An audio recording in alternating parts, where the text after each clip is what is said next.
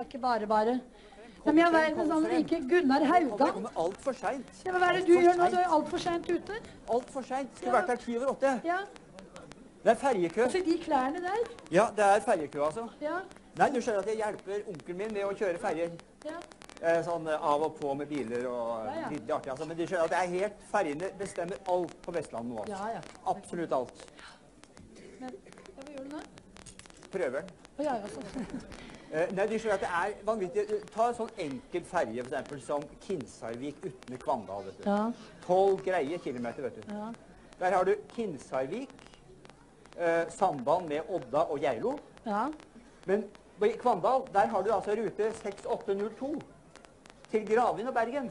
Ja. Mens da igjen i, i, i, faktisk i Utne der har du altså rute 6665 Jaha. igjen til Odda. vet du. Ja, ja. Og ikke bare det, men du har rutebrigde, altså faktisk. Rutebrigde jul, påske og pinsehelger Mm. kring helgedager i mai og juni. ja. Det er ikke enkelt, altså. Nei, nei, hvordan da, men du Hva er dette det her hele tiden? Billettmaskin. Ja vel. Men du skjønner, det er ingenting mot forholdene i f.eks. Sogn og Fjordane. vet du. Ja. Hvor du har f.eks. rute ja, Flåm, Gudvangen, Ja. Refsnes, Kaupanger, Årdalstangen. Ja. Hvor du har følgende unntak. vet du. F.eks. Eh, unntak A. ja. Berre må, Bare må? mandag. Oh. Du har berre må, ond og tre. ja. Unntak B. Berre ty, to og la. Og la er spansk? det? Laurdag. Og så har du C. Berre ty og la. Ja. D. Berre su og ond. E. Berre mon, ond og fred og su. Og så har du F. Døgl. Døgl. Hva betyr det? Dagleg.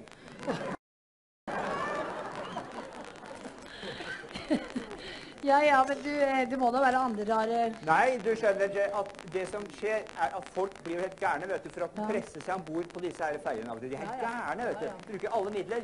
I går var det en nydelig dame, forstår du, en nydelig bilist, som sa til meg at uh, ja. Hun sa til meg at Vi skal bare ordne litt på den, Vi ja. skal bare ordne ja, ja.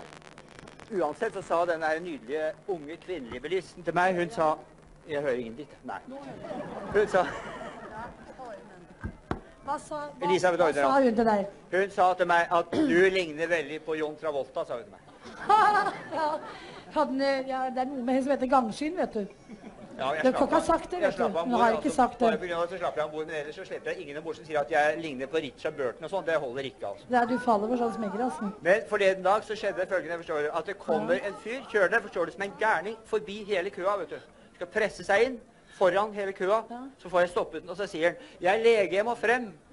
Jeg forsikrer dem, jeg er lege, jeg må frem. Jeg forsikrer dem. Hva hva var det nå for noe? Forsikringsagent.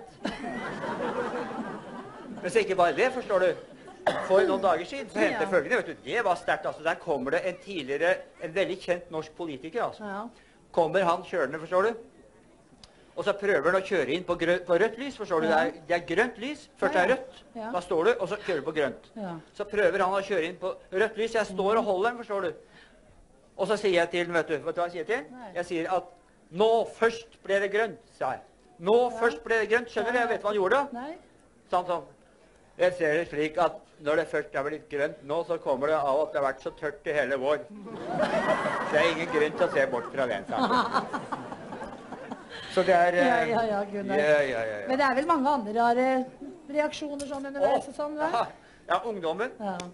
Ungdommen, unge mennesker nå, vet du, de ligner hverandre så veldig at når det kommer gutter eller jenter om bord i ferja, så må du se om de går på herre- eller dametoalettet vet du, for å vite om de er jenter eller gutter. altså. Ja vel, ja. Ja, jo, det, det kom en sånn, ja, det kom en sånn ungdom her for noen dager siden, forstår du, som var ja, sånn svarte lærstøvler, vet du, og lærjakke og eh, sprøytelakkerte bukser, liksom sånn, og kort hår, vet du.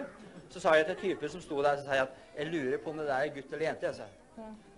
Det kan være gutt, men det kan også være jente. Så sa den der typen Jeg veit det er jente. Det veit jeg, fordi det er nemlig datteren min. Så sa jeg unnskyld, jeg visste ikke at de var faren. Vet du hva den typen sa da? Nei. Jeg er ikke faren, jeg er mora. Nei. Så der ser du, skjønner at Du skjønner det, altså at uh, Ja, det er ikke bare spøk, det skjønner jeg jo. Nei. Du skjønner eh, at det bestemmer Ferjene er lykke og ulykke her på Vestlandet. Altså, ja. Jeg vet om et brudepar som skulle reise altså da øh, de skulle reise, ja. De skulle reise den der ruta som går via Bjørnsli, tror jeg det heter. Ja, ja. Og så Bjørsvik er det. Bjørsvik, ja. Ja. Vikanes, Stamnesella. Ja, ja. Og så skulle de på bryllupsreise. Og de sto så lenge i kø at da de kom til Stamnesella, så var de separert. altså. Nei, det er det verste Bevare meg vel. Men det hender jo at, det hender jo at folk selvfølgelig blir eh, Ja, men du Gunnar, nå har, nå hverandre. har ikke vi tid til mer her. Du, det, hvis du har mer å fortelle, så kan du ikke heller fortelle det i Risør. ja, Det kan jeg gjøre, men jeg rekker ikke dit med de ferjene her. altså. Nei, men vi har båt, vi. Du kan få ro. Vi har Ja, båt, det var flott, det. Flott tur. Det var flott, det. Ja, ja. Det var alltiders. Ja. Ha det, Gunnar. Ha det. God tur.